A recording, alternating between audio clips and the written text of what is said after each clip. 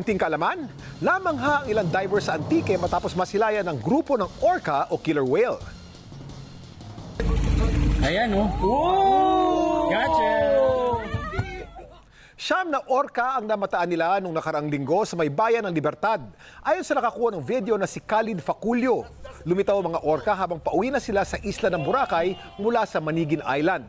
Kahit killer whale sa tawag sa mga ito, alam niyo ba na kabilang ang orca sa pamilya ng dolphins?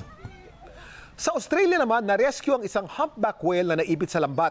Nagpadala ng search helicopter ang Australian Marine Police matapos itong i-report ng mga nakakita. Tinatena sa isang taong gula palang balyena. At ayon sa mga pulis, hindi naman sila pinahirapan ng balyena dahil binagalan din ito ang pagkilos nito para matanggal ng mga pulis ang lambat. Tuwing buwan ng Hunyo hanggang Nobyembre, madalas na nagmamigrate ang humpback whales mula sa malamig na Antarctic papunta sa subtropical waters ng Australia, kung saan nagme-mate at nanganganak ang mga balyena. Ito po si Kuya Kim nagsasabing mag-aral na maigi upang buhay ay bumuti.